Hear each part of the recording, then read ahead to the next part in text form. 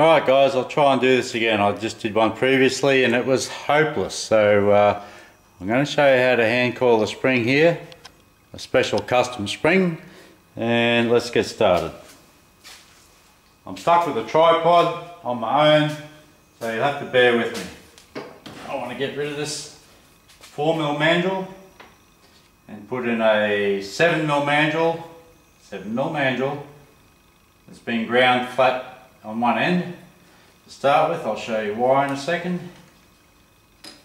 We'll get this in the chuck. This is just the hand coiler you've seen on my other videos. Now, what we're making today is an extension spring, a custom extension spring. Same size loop on one end as the, the parallel body, tiny loop on the other end for a tiny little bolt probably an M5, M4 bolt actually. So this is difficult to do by hand, but I will show you how. We'll start off with uh, coiling the parallel body first. And off we go. Where's my wire? We're using 1.25 spring stainless wire today. I'll just hook it under the wire catch there and start hand coiling. Now being a tension spring or extension spring you have to pull back on the wire so that the spring itself has initial tension. If you don't pull back on the wire, if you feed it on straight, it's not going to have initial tension so it's going to be pretty much useless. So we'll just wind it up to the flat section and we'll get right to the edge of the round area and then drop down onto the flat section. The reason it's got to drop down onto the flat section there is because the small section of the spring, the wire goes straight across the centre. Actually, the, both ends the wire goes straight across the centre. That's an English hook where the wire goes across the centre and loops around. So you can't do that English hook with the normal English hooking pliers that I've shown you before in previous videos, these little babies.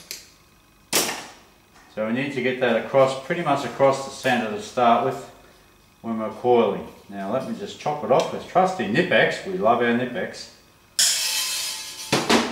And we're not quite, quite across the centre, so I will actually use my uh, homemade, handmade hooking pliers, which is just a bigger, uglier version of the real ones. And squash that down so it goes across the centre. We want it across the centre, just like that. Now,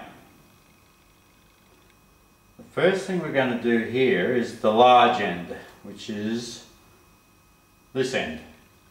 Just going to use the hooking pliers to do that. And we'll cut this now in line with this little elbow bend here.